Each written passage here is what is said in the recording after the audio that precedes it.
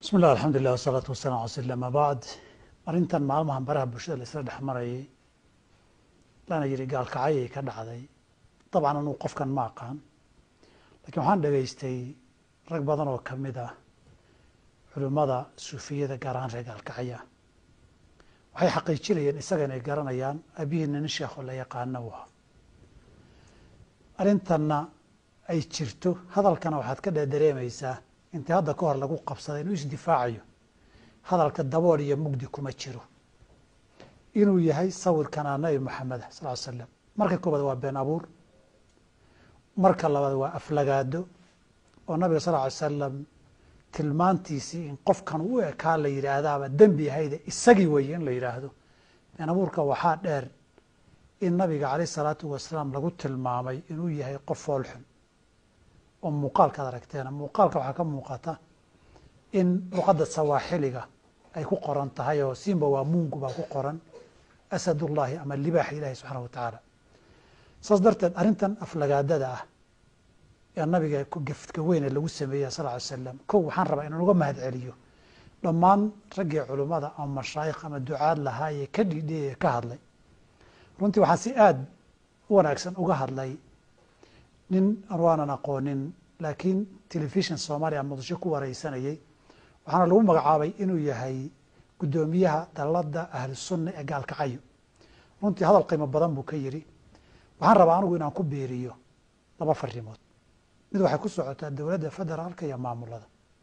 Midna waxay ku socotaa mujtamaca iyo dadweynaha.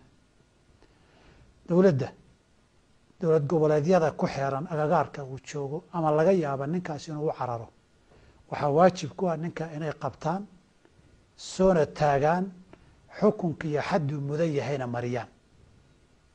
In maanta soomaaliya muslina lana joogo maamulana u leh cid kasta oo wilaayo leh ama federaal ha noqoto ama maamul ahlu sunna ha noqoto ama maamul goboleed galmudug iyo puntland iyo ha noqoto ama kuwo kale ha noqoto ama hadda uu joogo ama uu gaari karo tegi karo.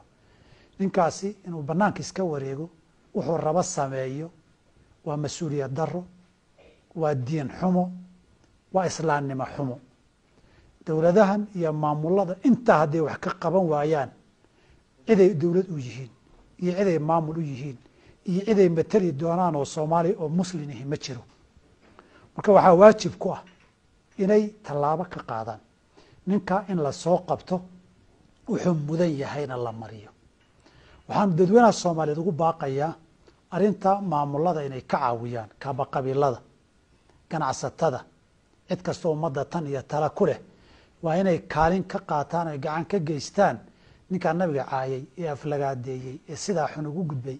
Waxba kama duwana kii daanishka ahaa ee sawirada xun sameeyey waxba kama duwana kii holandayska ahaa fankhookh ee wixii sameeyey waxba kama duwana salmaan rushdigii aayaad shaytaaniya qoray. Waxba kama duwana ninkaas waa inay tallaabo ka qaadaan waa inay ciddii mas'uuliyad iyo wilaayale u soo gacan geliyaan ninkaasi lama dhuumin karo ninkii dhuumiya la dembi wey in niika lagu daro oo muusig lagu daro oo sawir foolxun waa nabi maxamed la yidhaahdaay haddana intay soomaaliya ka dhacda suu raba yeelaaye waa nasiib darre aada looga xumaada wey cid kastoo culummoo ka hadashayna waan ku dhiirigelinaynaa waanu ku bogaadinaynaa cid kastoo kaalin ka qabatana waajib bay gudatay xaqii nabi maxamed caleyhi salaatu wasalaam uu lahaana waa inagu tijaabo. Haddaan arrintaa shacab iyo maamulo iyo dowladda isu kaashan weyno waxbaba alla inagama reebo.